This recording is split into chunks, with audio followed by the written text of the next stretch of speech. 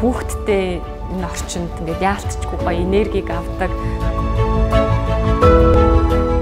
За намайг цогтгуугийн алтан сор гэдэг Q Education Group-ийн үүсгэн байгуулагч ерхий захирлаар ажиллаж байгаа. 17 жил одоо яг боловсролын байгууллагад ажиллаж байна. Хамгийн дуртай ажиллаа хийж байгаа хүү хоббигоо хийж байгаа гэж бас хэлэх дуртай. Би ч одоо гурван хүүхдийн ээж, тэгээ миний хүүхдүүд ер нь ээж хүний хувьд хамгийн түрүүн санаа зовдөг зүйл бол үр хөвгтөл байдаг. Энэ одоо салбарт ажиллаж байгаа маань олон мянган хүүхдэд те яг өөрийнхөө хүүхдэд хүсдэг шигэ тэр зүйлийг л нээгээд өгчихийнсэн гэж боддог. Тэгээд энэ зүйлээ хийгээд эхлүүлсэн.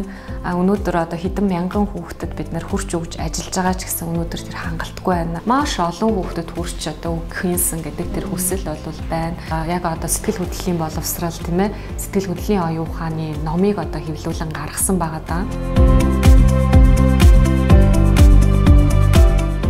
Нэгдсэн улсын Калифорни мужийг зориод Калифорни мужийн их сургуулийн яг одоо боловсролын удирдлагын магистрт сурахаар гэр бүлээрээ явсан байгаа. За амьдраад явж явах хугацаанд илүү өнөөдөр бид нар яг хүүхдийн боловсролыг бага наснаас л эхлэх хэрэгтэй юм байна. Ер нь боловсрал дээр бид нар бага насны боловсрал маш сайн анхаарах хэрэгтэй юм байна.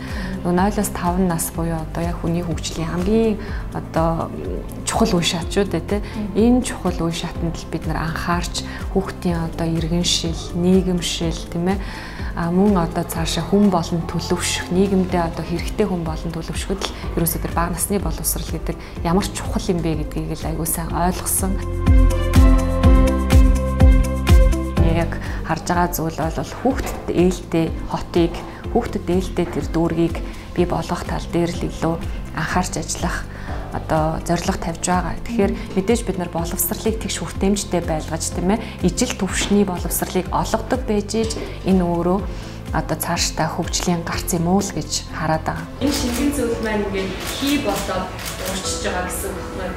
Өвөө эмээ хоёр маань эмч хүмүүсээсэн. Тэгээд ихэнх одоо хүүхэд нас маань эмнэлэг дээр эмч нартай хамт өнгөрсөн гэж хэлж байна. Тэгээд бага насндаа эмч болохыг их мөрөөддөг байлаа. Тэгээд 7 дугаар ангидаа яг одоо эмч болноо. Тийм учраас над химийн хичээл аягүй чухлаа гэд ингээд химийн хичээлдээ ороод эхэлсэн чинь нөгөө л нэг томьёо цээжилдэг, нөгөө л хуулж бичдэг, тоо боддог тийм л хичээл байсан. Инээсээ болоод бас яг эмч болох хүсэл мөрөөдлөө орхиж исэн гэж бас хэлж байна. Байгалийн шинжилгээ ухааны хичээл өөрөө маш сонирхолтой байх хэвээр тийм А тэгжээж бид нар тэр эрдэмтдийг тэр одоо эмч нарыг, эрдэмтэн судлаач нарыг, а инноваци бүтээгч нарыг, баялаг бүтээгч нарыг бид нар төрүүлнэ шүү дээ.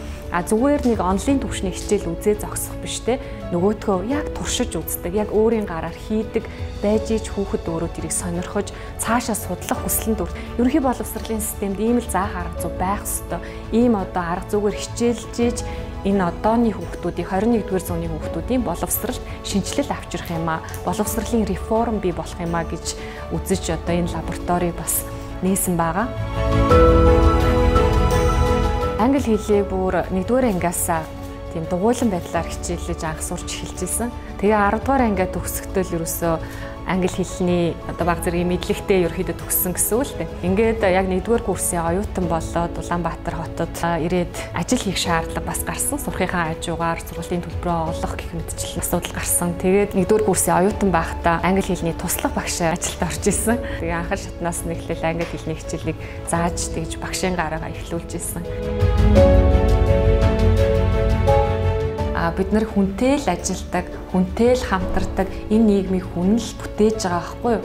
А тийм учраас бид нар хүнээ хөгжүүлэх тийм ээ хүнийхээ боловсралд анхаарах а ямар одоо зүйлийг бид нар хийхийг хүсээд байгаа тэр зүйлээ бид нар боловсрлоороо дамжуулж бий болгож өгдөг байх нь л өөрөө хамгийн чухал одоо энэ тэргүүний асуудал байгаа даа. Тэгэж энэ 17 жилийнхээ бас баггүй хугацаанд төрийн одоо хүмүүстэй хамтарч ажиллах гэж энэ талаараа хийлж тийм ээ дуу хоолойгоо хүргэж уулзаж хаалгын тогшиж явсан зөндөө удаатай. Тийм болохоор нөгөө талаасаа өөрөө энэ одоо бодлого боловсруулах төвшөнд нь те ороод ядчил энэ санаагаа хилээд хэрэгжүүлэхийн төлөө ажиллах нь бол одоо миний цаашдын бас зорилго болоо л байна да.